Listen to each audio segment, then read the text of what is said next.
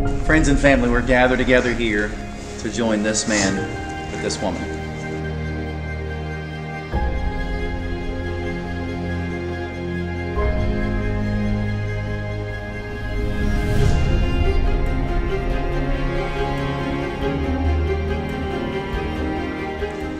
Jacob Andrew Ramsey, my best friend, my encourager, my spiritual leader. You are the most thoughtful person I've ever known, always thinking of others before yourself. You're a servant, ready and willing to help whenever you are needed. Haven Aubrey Leach.